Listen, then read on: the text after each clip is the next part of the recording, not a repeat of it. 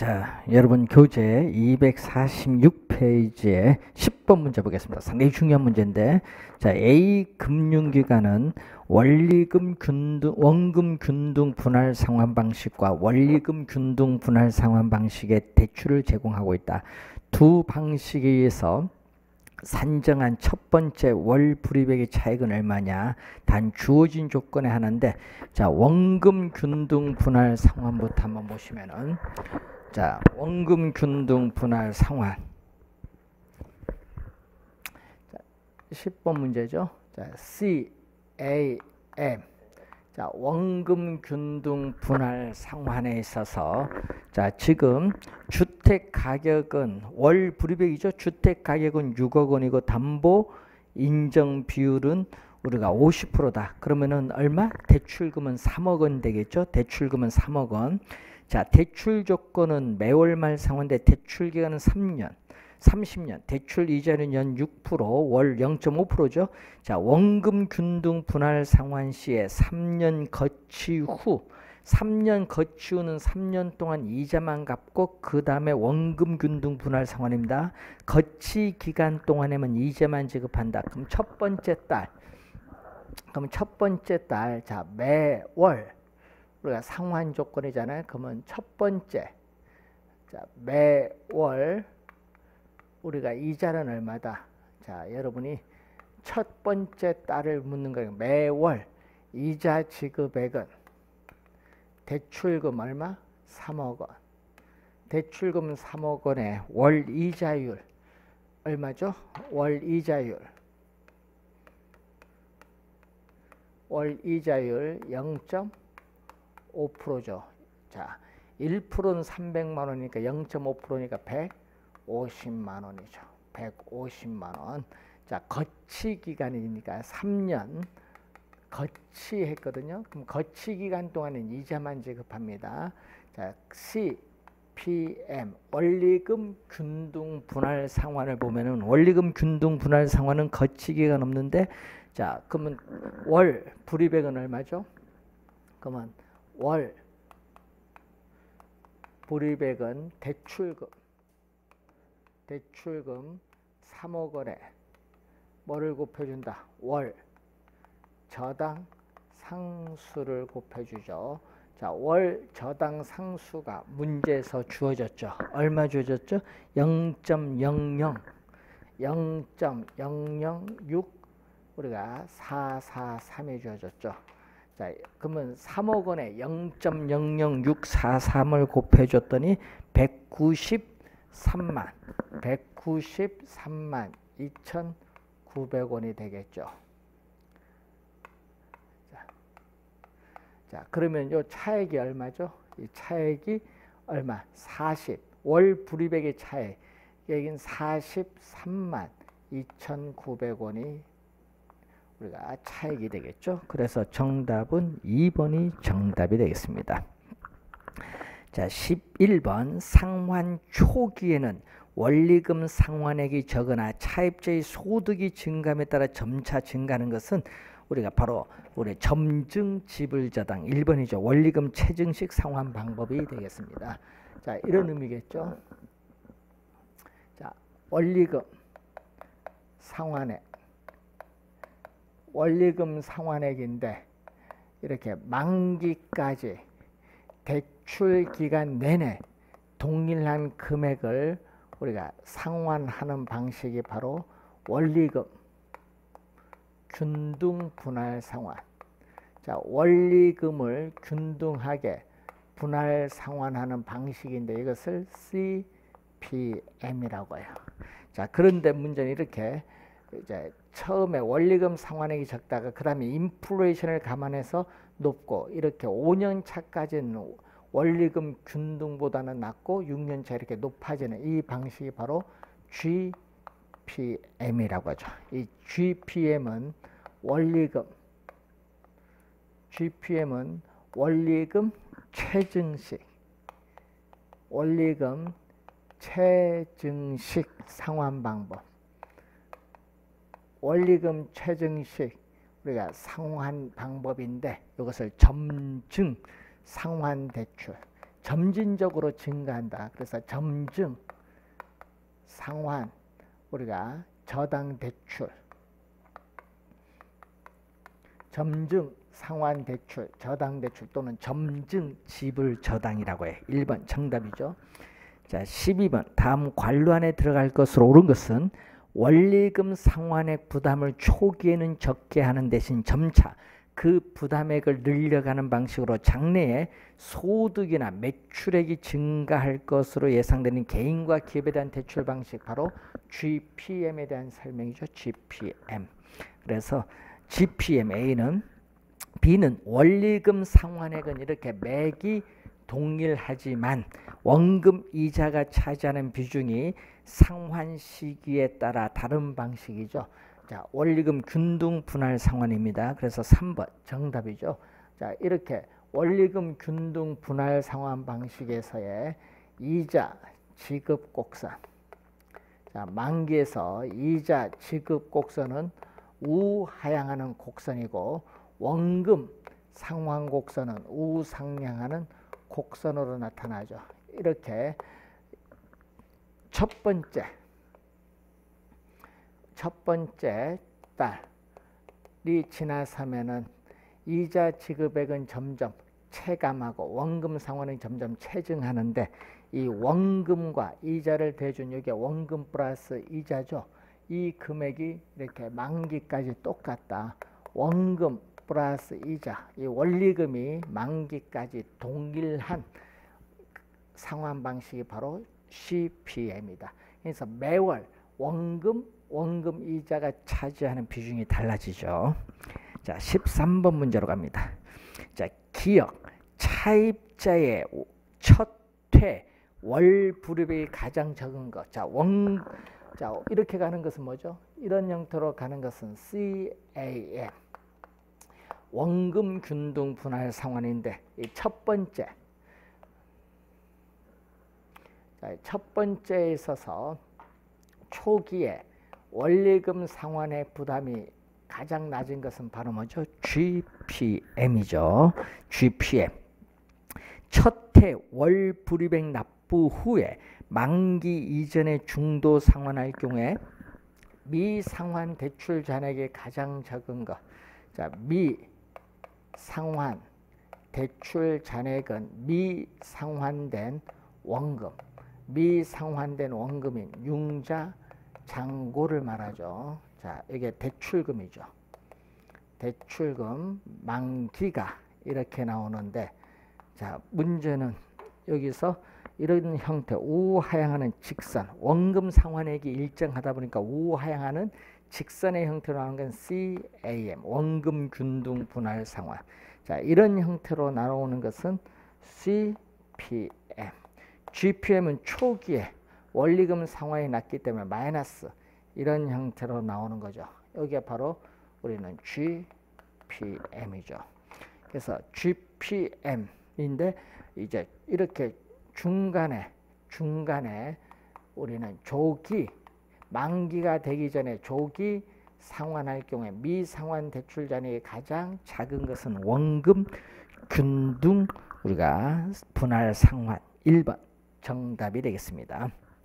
14번 저당 상환 방법에 대한 설명 중 맞는 것은 원리금 균등 분할 상환은 점증 상환 대출에 비해서 상대적으로 초기에 자금 회수가 빠르죠. 왜냐? 초기에 자금 회수가 빠릅니다. 이렇게 초기에 돈 갚은 금액이 요거잖아요. 원리금 균등은 요건데 우리는 마이너스 이렇게 원금 상환이 나타나니까 초기에 자금 회수가 빠른 것은 원리금 균등 분할 상환입니다.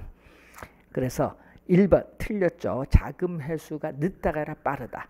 원리금 균등 분할 상환은 대출 기간 내내 이렇게 동일한 금액을 상환하는 방식. 2번 정답.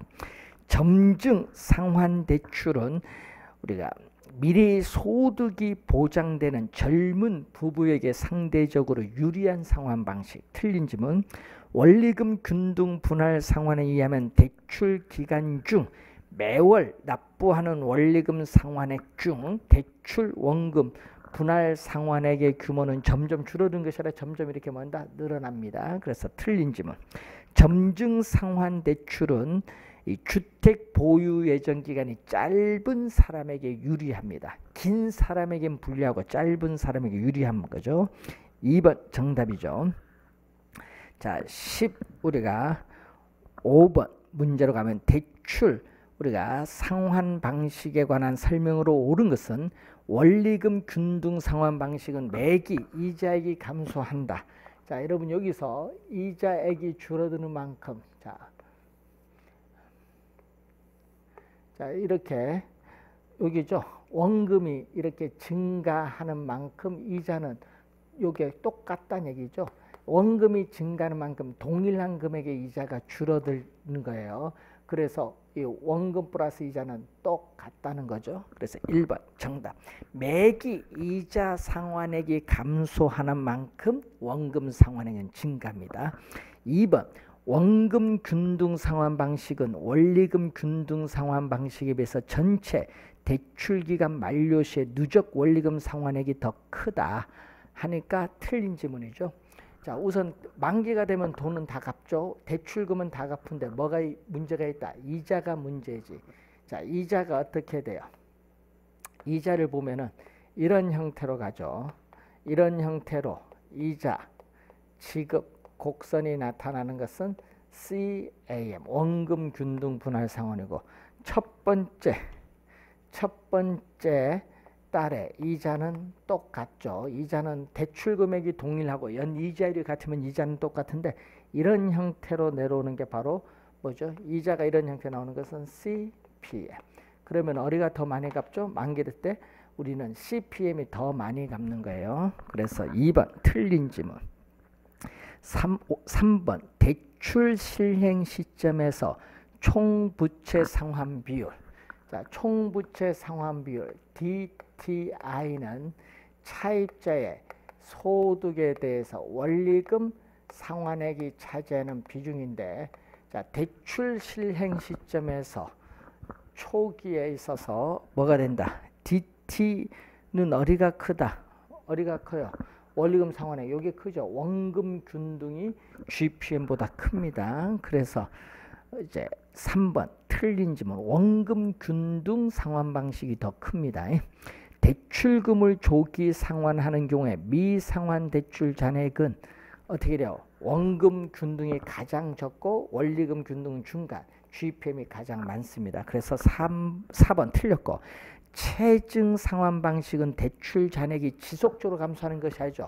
대출 잔액이 지속적으로 감소하는 것이 아니라 증가했다가 감소를 합니다. 그래서 틀린 질문. 이자 부담은 또 GPM이 이자 부담은 가장 높다. 미상환 잔액이 이렇게 많기 때문에 다른 방식에서 많기 때문에 이자 부담은 가장 높습니다. 틀린 질문. 1번 정답이죠. 자, 17번 문제로 갑니다. 자, 주택 저당 대출 방식 중 고정금리 대출 방식인 원금 균등 분할 상환과 원리금 균등 분할 상환에 관한 설명이다. 틀린 것은 자, 대출 기간 초기에는 원금 균등 분할 상환 방식의 원리금이 원리금이 원금 균등이 원리금 상환의 원리금 균등보다 많죠. 그래서 1번 맞는 지문. 2번 대 출자 입장에서 차입자에게 원리금 균등 분할 상환 방식보다 원금 균등 분할 상환 방식으로 대출해 주는 것이 원금 회수 측면에서 보다 안전하다. 왜? 돈을 어떻게 돼요? 원금 균등이 요 정도 갚고 원리금 균등은 이 정도 갚으니까 많이 갚으니까 해수 측면에서는 유리하겠죠. 그래서 대출자 대출자인 금융기관 입장에서 볼 때 원금 회수 측면에서 유리한 거 원금 회수 측면에서 유리한 것은 가장 유리한 게 CAM 그 다음에 CPM GPM의 순서죠. 돈을 많이 갚으니까 유리한 거예요. 그래서 3, 2번 맞고 3번 원리금 균등 분할 상환 방식은 원금 균등 분할 상환 방식에 비해서 우리 초기에 소득이 낮은 차입자에게 유리하죠. 왜냐? 초기에 요것보다 이게 갚는 금액이 낮기 때문에 유리하겠죠. 자, 4번 원리금 균등 분할 상환 방식은 원금 균등 분할 상환 방식에서 초기 원리금에서 이자가 차지하는 비중이죠. 자, C, PM은 CAM과 따져야 되는데 초기에 초기에 이 원리금에서 이자가 차지하는 비중을 보는 거죠. 자, 원리금에서 이자가 차지하는 비중인데 이자는 첫 번째 달 이자는 원금 균등, 원리금 균등 똑같아요. 이자는 똑같아요. 1, 1. 요 두 개는 같아요. 그런데 원리금은 어디가 많아요? 자, 초기에 원리금은 원금 균등이 많죠. 원금 균등이 더 많아요. 여기가 4면 여기는 2. 이렇게 원리금은 어디가 많다? 우리는 이 CAM이 더 많거든요. 초기에. 그러면은 2분의 1과 4분의 1 비교하면 어디가 더 커요? 요게 크죠. 그래서 초기에 원리금에서 이자가 차지하는 비중은 원리금 균등 분할 상환이 원금 균등 분할 상환보다 크다. 4번 맞는지 뭐. 5번 중도 상환 시에 차입자가 상환해야 하는 저당잔금. 저당잔금은 미상환 대출 잔액인데 원리금 균등 분할 상환 방식이 원금 균등 분할 상환 방식보다 보다 적은 게 아니라 많죠. 그래서 틀린 지문 5번 정답. 18번 대출 상환 방식에 관한 설명으로 옳은 것을 모두 고른 것은 단 대출 금액과 기타 대출 조건은 동일합니다. 상환 첫 해의 원리금 상환액은 뭐보다 원리금 균등 상환 방식이 원금 균등 상환 방식보다는 적죠. 그래서 여러분이 크다 하니까 틀린 지문. 자, 미래 소득이 감소할 것으로 예상되는 은퇴 예정자에게 적합한 상환 방식은 바로 CAM 원금 균등 분할 상환. 니은 틀렸고 원, 원금 균등 상환 방식인 경우에 매개 상환하는 원리금은 점차 이렇게 감소하죠. 딕은 맞는지만 원리금 균등 상환 방식에 비해서 매개 상환하는 원금은 이렇게 점차 뭐한다? 증가하죠. 그래서 디귿 리을이 맞습니다. 5번 정답. 자, 12번. 주택 금융에 관한 설명을 옳은 것은 원금 균등 상환 방식과 원리금 균등 상환 방식의 1회차 월불입액은 월불입액은 동일한 것이 아니라 어리가 원금 균등이 원리금 균등보다 많습니다. 1번 틀린 지문. 변동 금리 이자율과 고정 금리 이자율이 같고 향후 금리 상승이 예상되는 경우에 금리 상승이 예상됩니다. 그럼 차입자는 변동금리 대출이 고정금리 대출보다 유리하다고 합니다. 불리하죠. 왜냐? 변동금리 대출을 대출받으면 대출자는 금리 변동 위험을 차입자에게 전가시기 때문에 차입자는 불리합니다. 그래서 2번 틀렸고 3번 일반적으로 차입지 소득과 담보부동산의 가치는 시간이 지날수록 증가하는 경향으로 인해서 차입자의 채무 불이행에 따른 위험은 높아지는 것이 아니라 낮아진다. 낮아진다. 그래서 3번도 틀린 지문.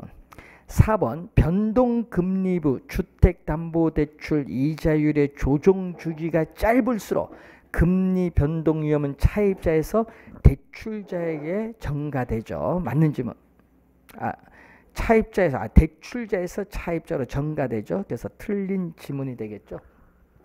자, 5번 차입자가 대출 금액을 중도 상환할 경우에 원금 균등 상환 방식은 원리금 균등 상환 방식보다 대출 잔액은 적죠. 요것보다 이게 적죠. 그래서 5번 정답입니다. 그래서 19번의 문제 5번의 정답. 자, 252페이지에 20번 문제로 갑니다. 자, 우선 대출 초기 박스 안에 봅니다. 대출 초기에 얘기죠. 이 사, 차입자의 소득에서 원리금 상환액이 저당 지불액이죠. 저당 지불액이 차지하는 비중이 가장 낮은 거.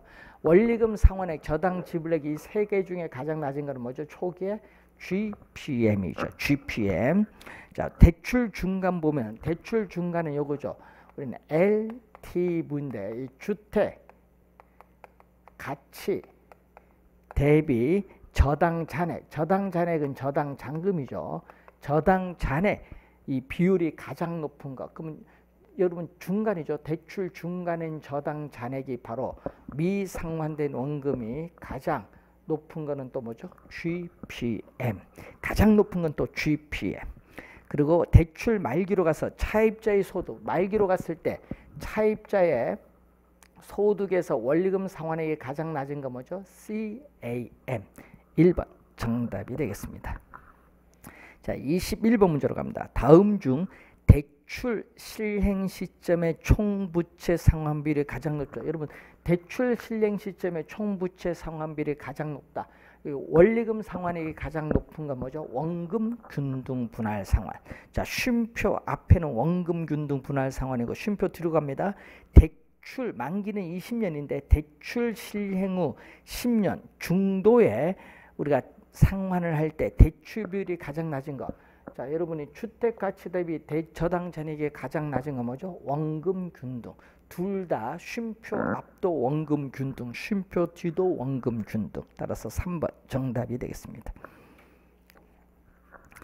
자, 23번 문제로 갑니다. 금융기관이 부동산 대출 관련 위험을 줄이는 방법으로 옳은 것은 담보 인정 비율과 DTR을 둘 다 낮춰야 돼요. 그래야 대출금이 적어지니까 금융기관 위험이 낮아지죠. 금리 변동이 심할 때는 뭘로 변동금리로 대출해 주죠. 그래야 어떻게 돼? 차입자에게 금리 변동 위험을 전가시킬 수 있습니다. 대출 실행 시 부채 감당률이 1 이하가 되는 투자안을 뭐 한다? 선택을 한다. 1 이하가 아니라 뭐죠? 1 보다 커야겠죠. 1보다 커야 됩니다. 그래서 틀린 지문이 또 되겠고 5번 금리 변동 위험을 방어하기 위해서 이자율 수합, 수합은 교환이에요. 교환 등의 방법으로 위험을 전가한다. 자, 여러분 고정 금리로 대출해 줬는데 일정 기간이 지나면 변동 금리로 바꿔 버린다. 이런 얘기죠. 수합, 교환 등의 방법으로 위험을 전가합니다. 5번 정답. 자, 20 우리가 5번 문제로 갑니다. 주택 대출 상환 방식 중 타당하지 않은 것은 원금 균등식 저당 대출은 이렇게 원금 원금은 매달 균등하게 상환하고 이자는 감소하는 원금 기준으로 우리 매달 상환함으로 원리금은 뭔다 이렇게 원리금은 점점 감소하죠. 체증하는 것이 아니라 원리금은 점점 감소합니다. 그래서 틀린 지문. 1번 정답. 2번 원리금 균등식 저당 대출은 전체 대출 기간에 걸쳐 원리금 상환액이 동일하죠. 동일한 대출 방식으로 원금 상환액은 이렇게 체증하고 이자 지급액은 체감합니다. 맞는 지문. 원리금 체증식 저당 대출은 대출 후 일정 기간 동안 이렇게 원리금이 점차 이렇게 증가하는 방식의 대출 맞습니다. 대출 원금의 회수가 가장 빠른 거. 자, 대출 원금의 회수가 가장 빠른 건 CAM, 가장 늦은 건 GPM. 예? 그리고 첫해 원리금 상환액이 가장 큰 대출은 뭐다? CAM, 가장 적은 것은 또 GPM이 되겠죠.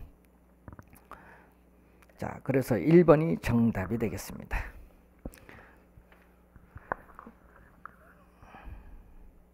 27번 문제로 갑니다.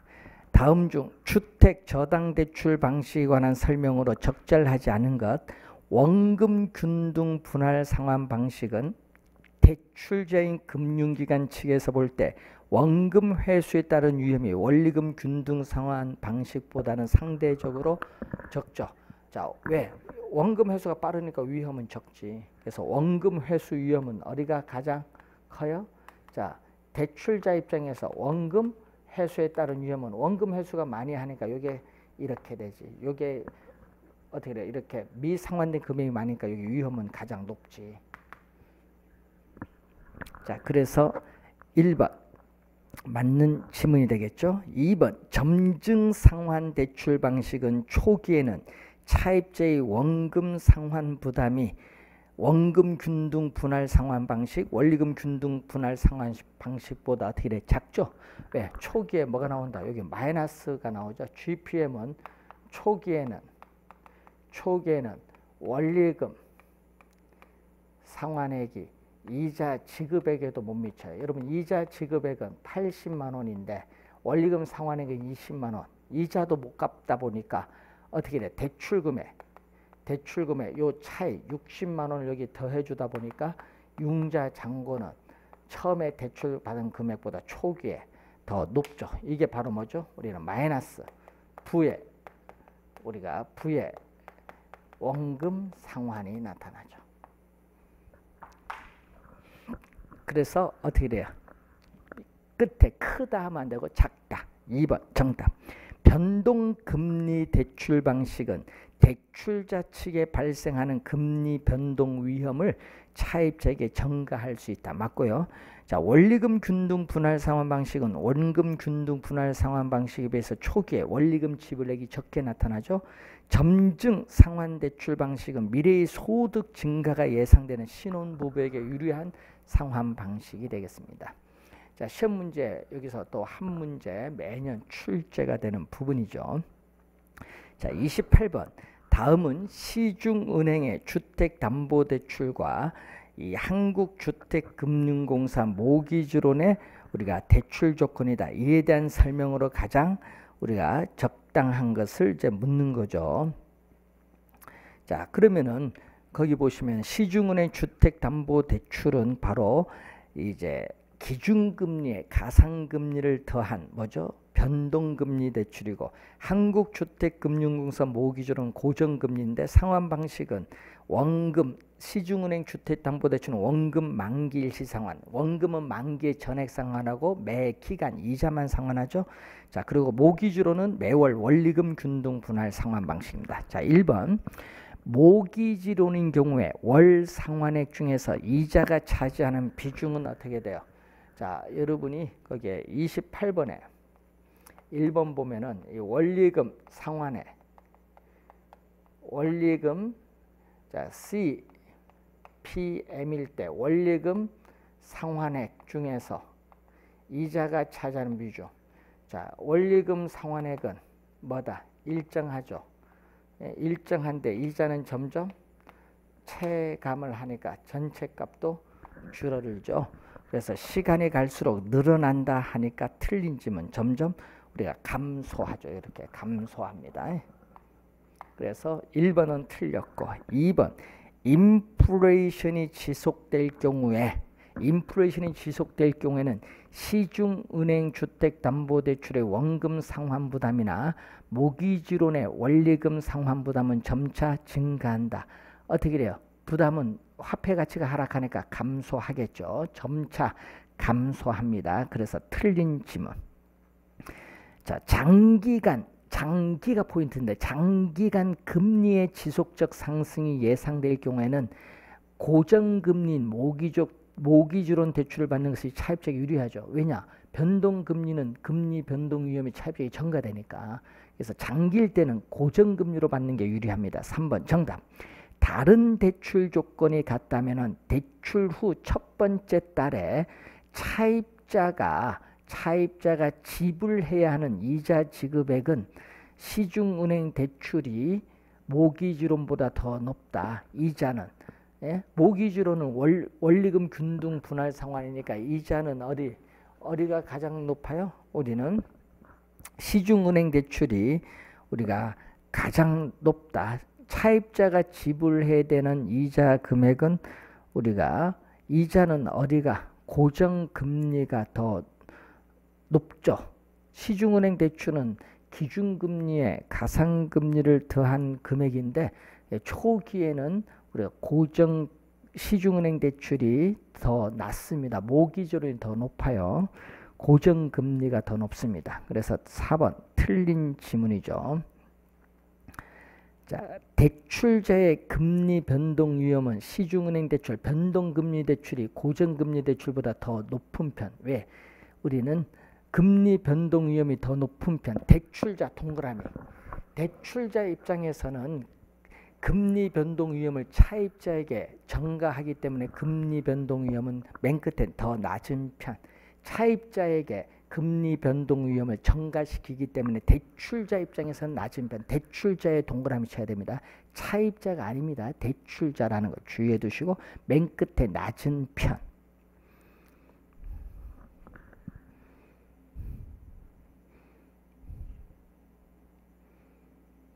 자, 그래서 우선 여러분이 잘 알아두셔야 될 부분인데 시험 문제 또 이게 많이 나오죠. 대출 시점. 대출 시점의 초기 이자율. 자, 대출 시점의 초기 이자율을 초기 이자율 아까 4번 지문 보면 요건데 초기 이자율은 어리가 고정 금리 대출이 뭐보다 변동 금리 대출보다 더 높아요. 초기 이자로 왜?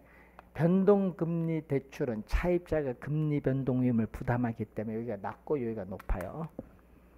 그 아까 4번 지문은 요걸 생각하시면 되겠고 29번 문제 주택담보대출에 관한 설명 중 틀린 것은 연간 이자율이 같은 1년 만기 대출인 경우 대출자는 기말에 한 번 이자를 받는 것이 기간 중 네 번 나눠 받는 것보다 유리하다. 불, 유리한 게 아니라 불리합니다. 예. 1년에 네 번 나눠 봐야 금리 변동 위험을 차입자이 전가하기 때문에 유리하지. 그래서 여러분이 1번 정답. 코픽스를 기준금리로 삼고 여기에 가산금리를 붙인 코픽스 연동형 주택담보대출은 변동금리부 주택담보대출이고 CD 영동주택담보대출 이자율은 기준금리 CD금리의 가산금리를 합하여 결정되고 변동금리부 주택담보대출 이자율 조정주기가 짧을수록 금리 변동 위험은 대출자에서 차입자로 전가되죠. CD 영동 주택담보대출은 변동금리 대출입니다. 자, 이 얘기인데 자, 여러분이 변동 금리 대출이죠. 자, 이 변동 금리 대출은 우리나라 주택 담보 대출의 약 91%를 차지하는데 이 대출 금리는 대출 금리는 이 기준 금리에 가산 금리를 합하여 이렇게 결정을 해요.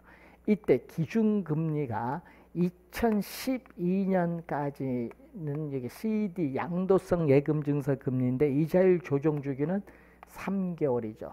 그런데 이게 2012년 말에 이게 불합리해서 우리가 도입된 게 있죠. 우리가 바로 코픽스가 도입된데 은행이 외부로부터 자금을 조달하는 비용을 가중치로 평균해서 구한 자금 조달 비용 지수가 바로 코픽스인데 이 코픽스 금리를 도입을 하죠. 그래서 여러분 이자율 조정주기는 6개월, 뭐 1년이 있습니다.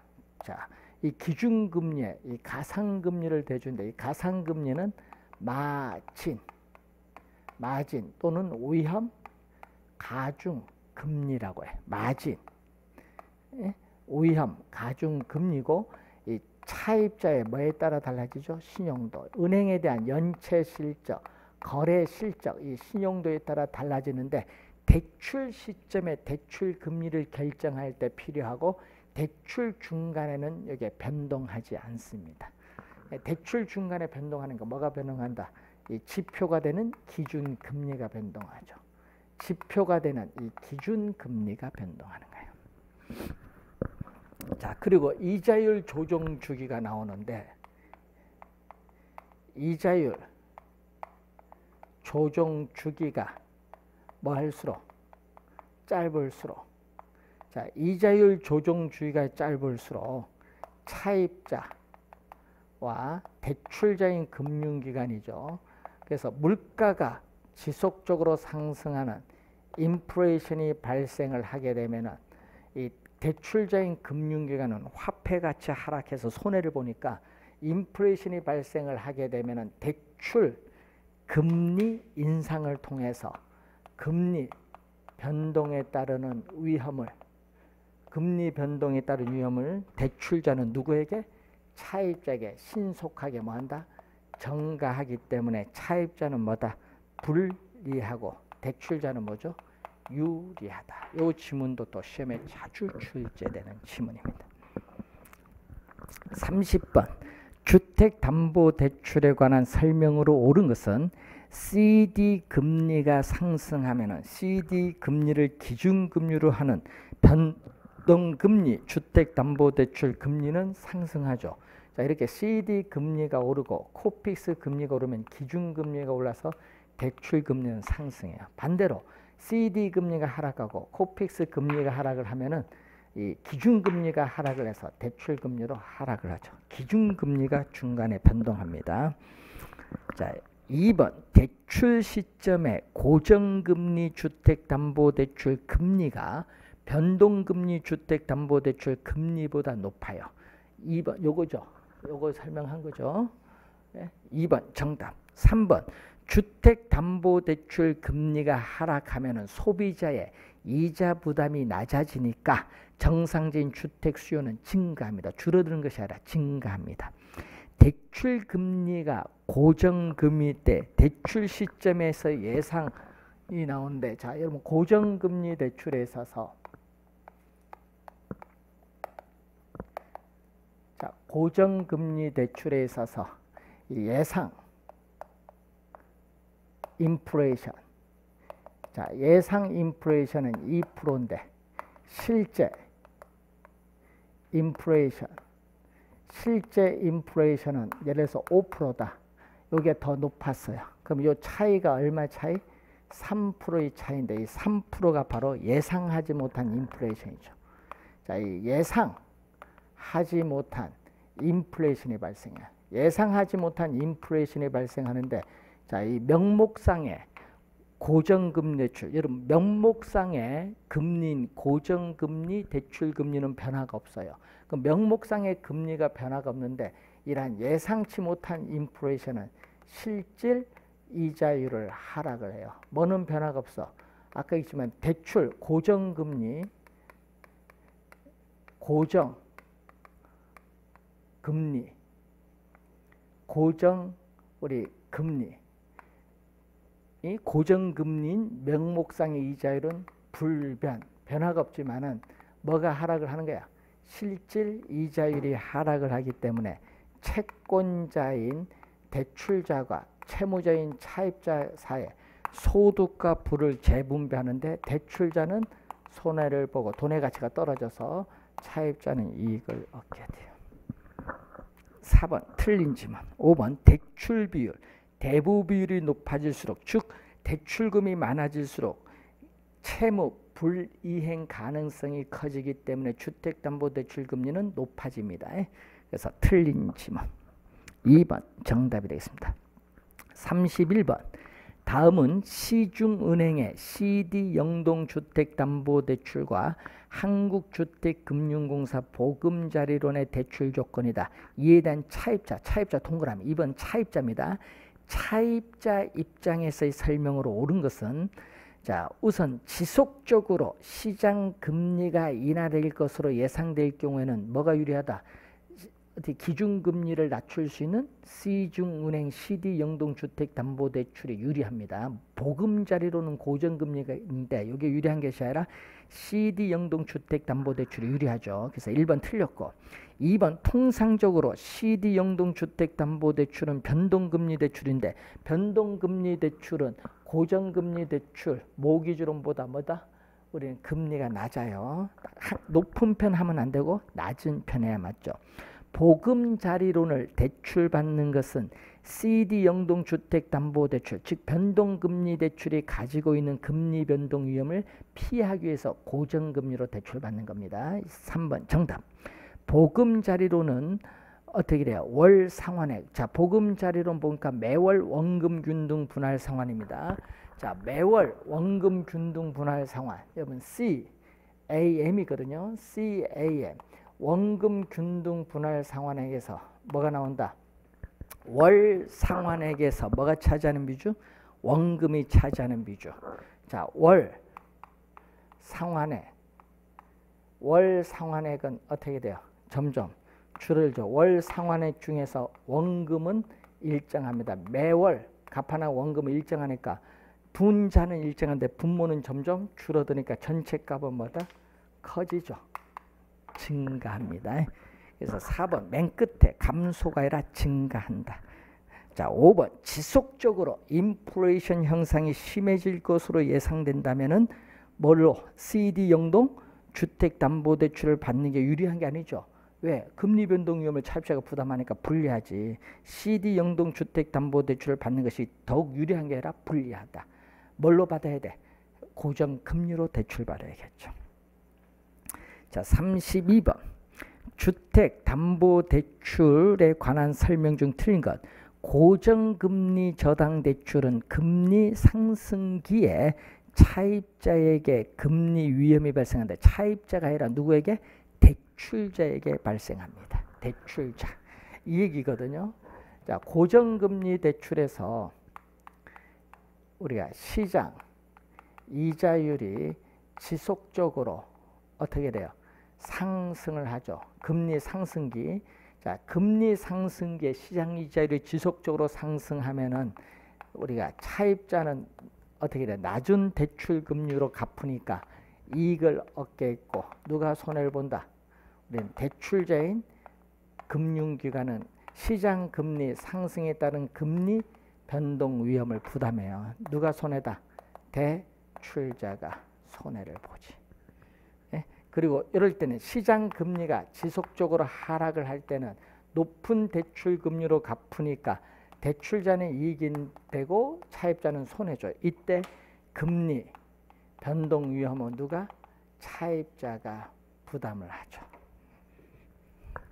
자, 1번 어떻게 돼요? 정답이고 2번 금리 하락기에는 대출자에게 여러분 차입자는 이런 경우에 작년에 계속 2년 연속 정답이었거든요. 이런 경우에는 차입자는 손해를 보잖아요. 그래서 차입자는 만기가 되기 전에 뭐다? 다른 금융기관에서 뭐를 재금융, 리파이낸싱, 대환 대출이라고 하죠. 리파이낸싱. 이게 대환 대출. 대환 대출인데 요걸 받아서 뭐 한다? 조기 상환을 해요. 차입자는 조기 상환을 하면은 대출자는 높은 이자를 받게 될 기회를 상실하죠. 그래서 조기 상환 위험은 대출자가 안게 되니까 대출자는 벌칙으로서 조기 상환 수수료를 부과하는 겁니다. 그러니까 조기 상환 위험은 누가 대출자가 안게 되는 겁니다. 그래서 2번 맞는 질문. 명목 금리와 실질 금리의 차이는 예상 인플레이션이 되겠죠. 자, 이 얘기죠. 자, 명목상의 이자율은 실질 이자율에다가 뭐를 대주면 예상 인플레이션율을 더해주면 되겠죠. 그럼 이것을 이쪽으로 넘어가면 이 차이가 예상 인플레이션율이 됩니다. 4번 변동금리 저당 대출은 금리 위험에 비대칭 문제가 없죠. 왜냐? 차입자에게 금리 변동 위험을 전가하기 때문에 고정금리 대출보다 통상 이자율이 낮습니다. 맞는 질문.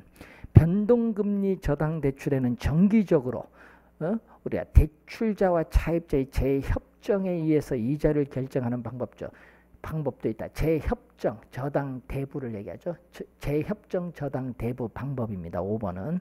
그래서 정답은 1번이 정답. 자, 33번.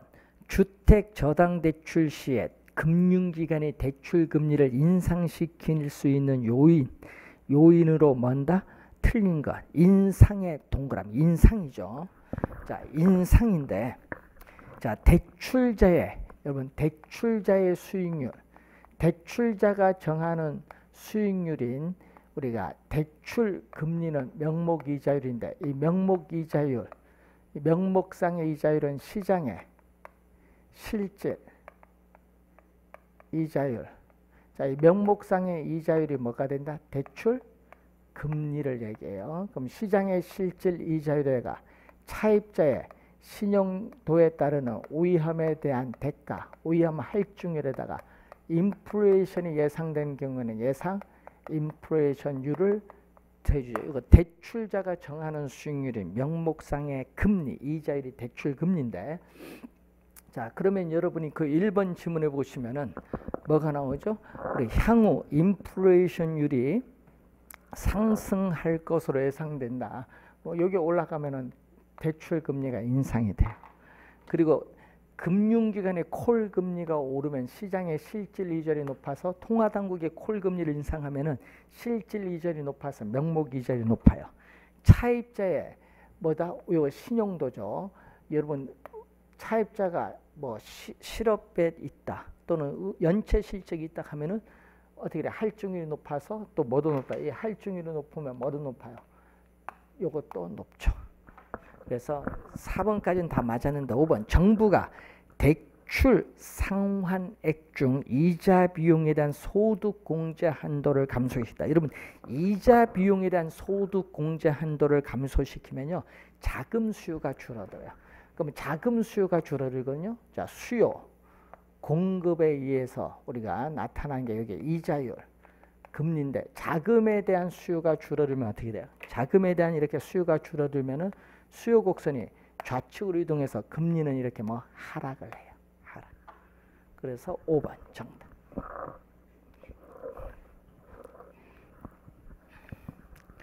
자, 34번.